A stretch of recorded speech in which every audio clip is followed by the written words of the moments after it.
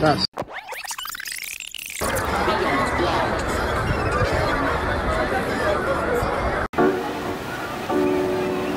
Thank you.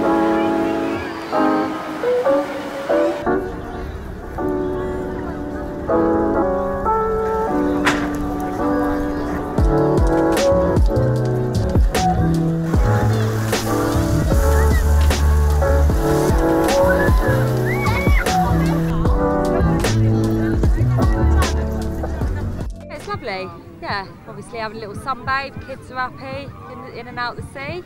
So yeah, nice day for it, isn't it really? Furloughed from work, so what else is there to do? Done enough gard gardening, gets a bit boring.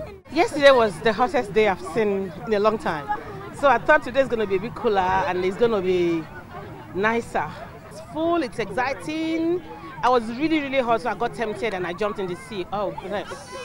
It's cool, it's nice, and it's fun, and I'm loving it. Adults are showing um, as much social distancing as they can. It's, it's the children really.